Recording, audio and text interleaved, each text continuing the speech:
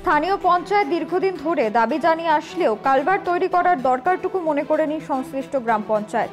অবশেষে স্থানীয়রাই কালভার্ট তৈরির কাজে হাত লাগালো আজ।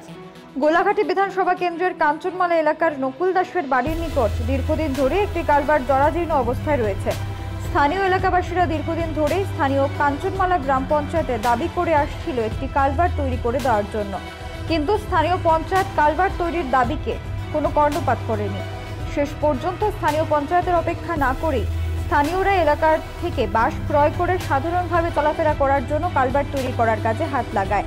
স্থানীয়রা বাঁশ দিয়ে যে কালভার্টটি তৈরি করেছে, সেই কালভার্টের উপর দিয়ে মাত্র কয়েক মাস যাতায়াত করতে পারবে জনগণ। তারপর আবার সে আগের মতোই জরাজীর্ণ হয়ে যাবে কালভার্টটি।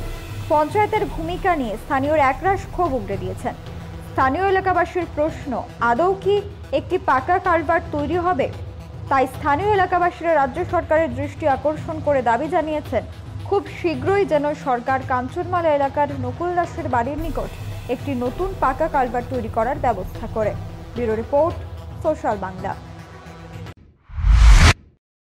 ওইটাকে আপনার নিজের উদ্যোগে করা হইতাছে। হ্যাঁ।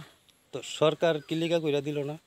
সরকার কিলে কইরা দিল না? তো সরকারে জানে আমরা তো কয়বার করে পঞ্চায়েত পঞ্চায়েতে জানাইছে এরা দেয় না। এরপর আমরা কতবারই লেখা লইয়া লইয়া এই খালটারে ঠিক করা হইতেছে ঠিক করা হইতেছে যে আবার ভাঙ্গা জায়গা আবার করা হইতেছে এরা পাঁচ ছয় পরিবার আছে এরা চলতে পারে না আমরা চলতাম পারি না। ওই বাগানের গাছ কাটে কষলে কষলে যাইতে না অক্ষণও লেবা লাগাই রাখছে।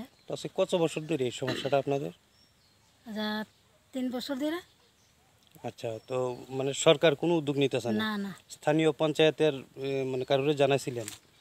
হ জানাইছি। তারা কোনো ইয়ে নেয় না। না।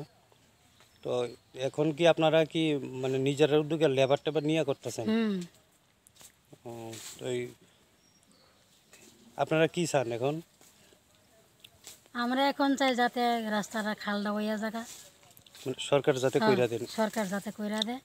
এইভাবে কেমনে চলুন? আর এখন যেটা মানে আপনারা এখান থেকে করা হইতাছে এটা মানে কতদিন থাকব মনে হয়? কই কতদিন থাকবে? এক মাসও থাকতো না এদিকে তো চলাফেরা করতেছে মানুষে। আচ্ছা মানে কোনো রকম সাধারণভাবে এটা করা হ্যাঁ হ্যাঁ। হইতাছে? এই জায়গাটার নাম কি? কাঞ্চনমালা। আপনার নাম? আমার নাম কবিতা দাস। আপনারা এখানে যে একটা খালবার করতেছেন বাঁশ দিয়া এটা কি মানে সরকারি উদ্যোগে না আপনারা নিজের উদ্যোগেই করতেছেন? নিজের উদ্যোগে। কেন নিজের উদ্যোগে কি লিগে করতেছেন? আমরা পঞ্চায়েতে কয়েকবারই জানানো হচ্ছে কইরা করে দেওয়ার লাগে তারা কইরা দেয় না। ওখানে আমরা নিজের উদ্যোগে আমরা করতেছি। তো- কতদিন ধরে এই সমস্যাটা এখানে? সমস্যা এটা রাস্তা হওয়ার পর থেকেই সমস্যা। আর খালপাট টালপাড়া হইছে রয়েছে না। এই বাস দিয়ে চলাফেরা করতেছে। ওখানে আমরা এদিকে লোকের যাতে যাইতে অসুবিধা হয় তখন আমরা নিজেরই করতে লাগে। এখানে কয় পরিবার আছে?